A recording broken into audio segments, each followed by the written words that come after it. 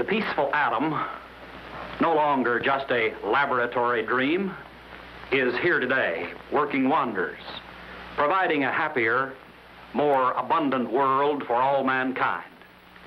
Already, atomic development is a major factor in the American economy.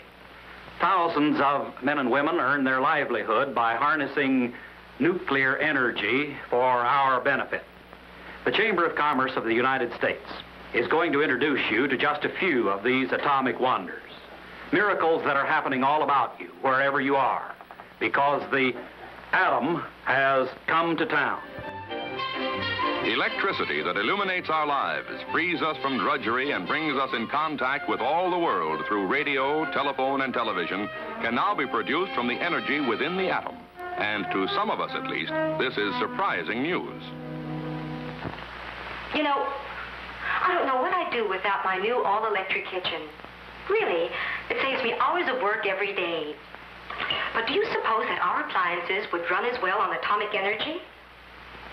I don't understand. Why do we need an atomic power plant?